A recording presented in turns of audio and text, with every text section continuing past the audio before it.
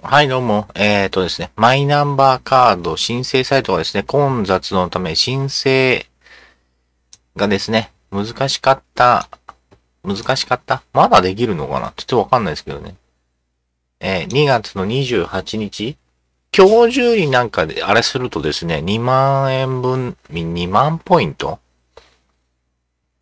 ?2 万円払えばいいと思うんですけど、何ポイントって？っていうとこなんですけど。これがですね、えー、し、申請サイトだそうで。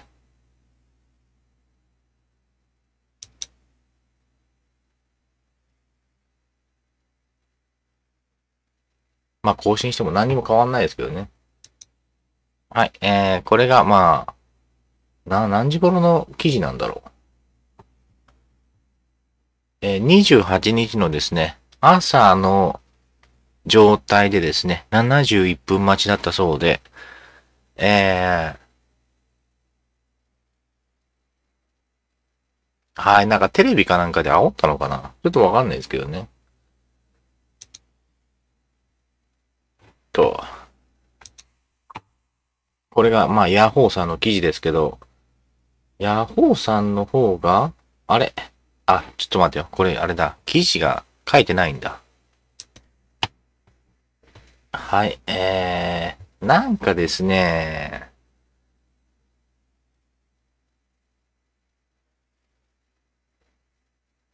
な、なんですかね。なんかね、もら、もらいに行ってももらえないとかですね、なんかいろいろあったみたいなんですけど、なんか、テレビかなんかで煽ったのかな今日中までですよ。皆さん2万ポイント。まあ、2万円的なものをくれるのは今日までですよ、みたいな、煽りがあったのかな。はい。で、えー、最大2万円分のポイントがどうとかですね。え、何それってところからなんですけどね。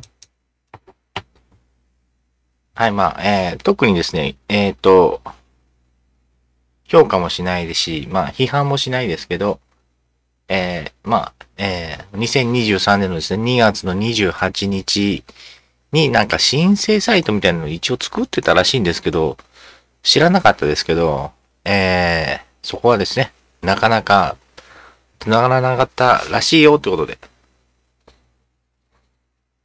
はい。まあ、えー、YouTube はですね、えーコロナワクチンって言っただけでバンになってちょっとやる気がないんですけど、えーまあ、今日あたりですね、番明けになるのかなぐらいなんですけど、あんまりやる気が出ないんですけど、はい。えーこんなことがありましたということで、はい、今回以上です。